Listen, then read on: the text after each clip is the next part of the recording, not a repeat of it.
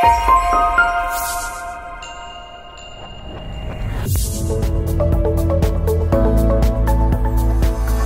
first thing you'll want to do whenever you create a new page is to edit the header.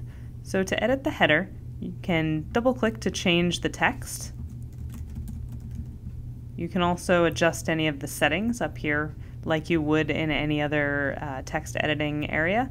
And then as you hover over the header, you'll see you have some options to change the header type.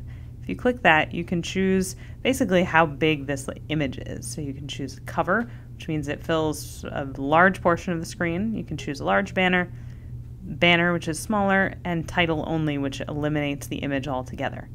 If you choose to have an image, you can also change that image. You can upload your own custom image, or you can select an image that will pull from the gallery. You can do a search, pull from your albums, from your drive. When you select that image, it will replace it. And then sometimes it will do um, what's called the readability adjustment. So if you see these little stars here, uh, it'll change what that image looks like to make it easier to read your text. So you can turn that on and off, and you'll see, depending on the color of your font, it may make your image lighter or darker.